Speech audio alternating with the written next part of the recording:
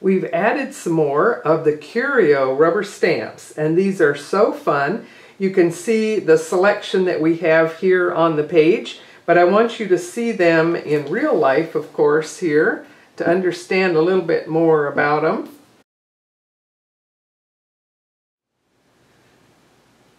So here you can see some of the Curio stamps up close. We've got a beautiful color index on the top that is a sealed so that it can stay nice and clean, hopefully. And then there's a painted edge, which sometimes is uh, white or black. I'll show you the different ones, but it's nice and thick to give you a really good grip for a handle.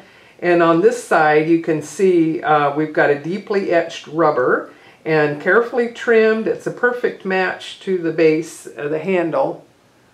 And it's easy to hold and it's going to give you a really nice uh, grip to work with and make a beautiful impression with it. And they're just so fun to look at. To display them in your studio is partly why we call them curio stamps, that they'll be fun to display. And this one here is your classic uh, bouquet. And this one has unfinished wood edge, which is kind of nice. And each of them are just a little bit different. And then these have the black edge to them.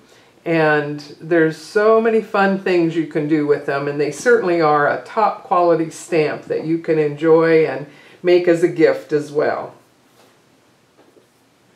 Let's stamp this one up.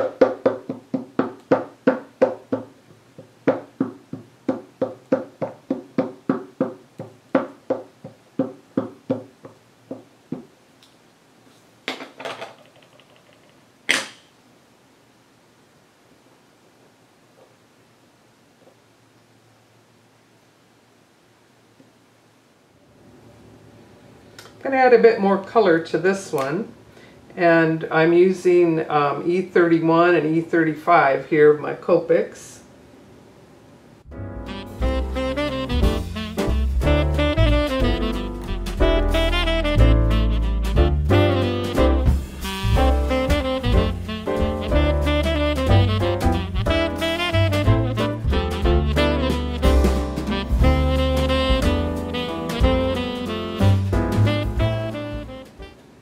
So there's our beautiful curio stamps and so much fun to color.